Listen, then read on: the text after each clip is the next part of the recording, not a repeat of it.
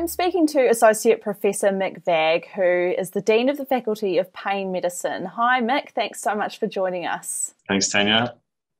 Now, the pain medicine program winds up this evening. What have been some of the highlights for you?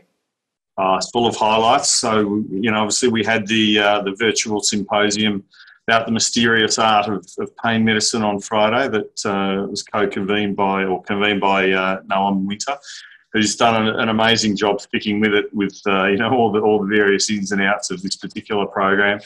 And uh, our plenary speakers, of course, um, Matthew Smuck and, and Eva Kosek have been been fantastic, and their topics are very, very timely and relevant. You know, personalised precision pain medicine and this new entity of nociplastic pain.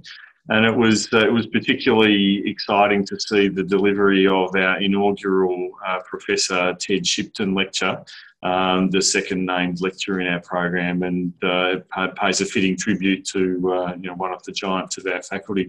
So it's been a, it's been a terrific program. You've been the FPM dean for twelve months now. How has that been?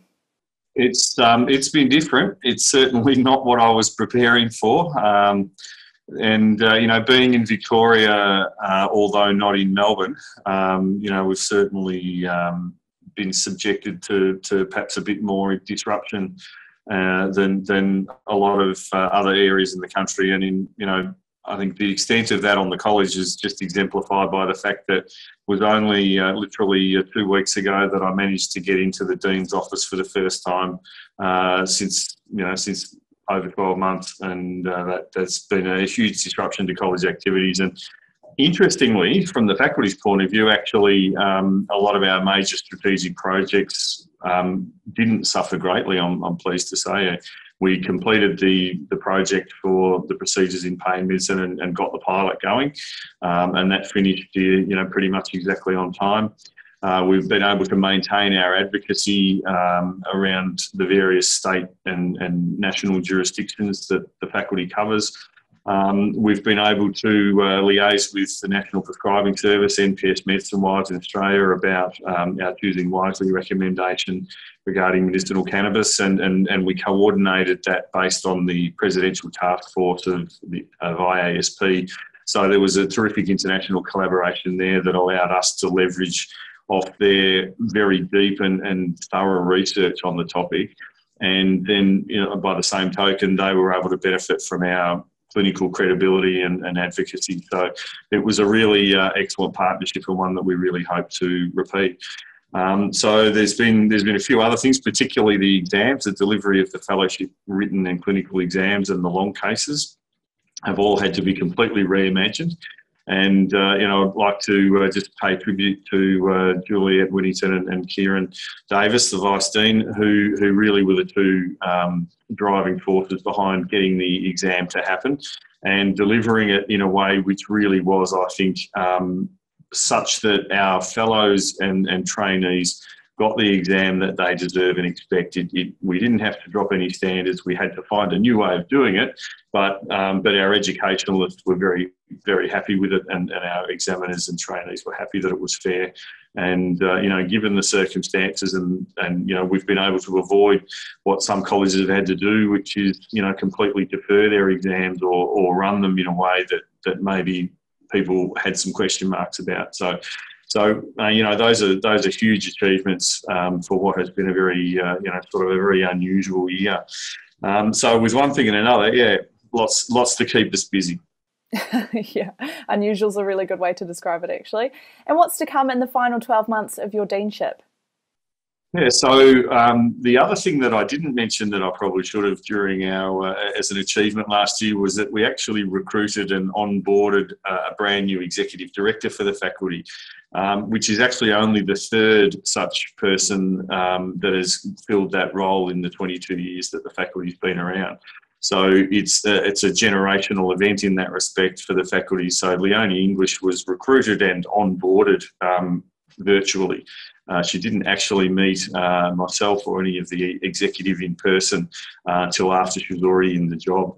And uh, so, again, a very unusual way to start. But but over the next 12 months, um, I'm looking forward to travelling around to our various regions and, and uh, national jurisdictions and um, introducing Leonie to the family. Um, and uh, that was one thing I said to her very early on was that she had to understand that, that pain medicine was a, you know, it was a slightly odd, passionate and dysfunctional at times, but mainly uh, very supportive and collegial family. And uh, she has certainly, um, she's certainly learned that that is the case. And she's looking forward to getting out to meet some of the uh, more far-flung cousins around the place now that she's met the big, big wigs. So, um, so that'll be part of what we do, and, and, and as we go to each state and, and as we go to New Zealand, we will be, um, you know, looking for advocacy agenda items um, to represent um, over the, you know, the next year or two, and also to build into the faculty's strategic plan uh, for the next five years, so that we make sure that we're really listening to what our fellows are, are having to go through, where they're at with opioids, real-time prescription monitoring what are the pressures on on how they're doing their pain medicine and, and what we can do to try and advance the agenda overall at a state, national, and um, maybe even international level. So um, we will be looking at um, the Better Pain Management Program and refreshing that. That was uh, an unexpected uh, source of revenue during lockdown. The uh, you know the landing of the, the 1.2 million dollar TGA contract, which has gone very well um, was was not something we had. It was something we knew that BPM was capable of doing, and, and it was there sitting ready when the opportunity came along. So, so we'll be trying to um, leverage off that success and, and seek funding to make it a more sustainable and um, maybe even recurrent funding to embed it in the training curricula of various organisations around Australia and New Zealand so that it, it, it, truly represents what the faculty would like non-specialists to know about, about pain management. So that's a key part of our agenda. Um, I could keep going. We've got a big project in New Zealand where, um, you know, our, our um, New Zealand National Committee is providing expert input into a complete redesign of the models of care um, in, in how pain management services are provided in New Zealand. And, and we're, we're very excited that the faculty was the first uh, specialist group that was chosen to work on such a project. And we're, we're led to believe there will be more, um, but, but they saw the need um, to do it for pain medicine because it is very unevenly provided across New Zealand and they saw uh, the opportunity to leverage our expertise um, at providing, you know, telehealth and and remote training and um, remote services and and our adaptability, uh, and they were keen to work with us. So that's a you know a major a major achievement for our New Zealand colleagues. Yeah. So yeah, lots lots lots happening. I was going to say, as you say, you could keep going and going. Thank you so much for joining us, Mick. It's been great to talk to you. That's a pleasure.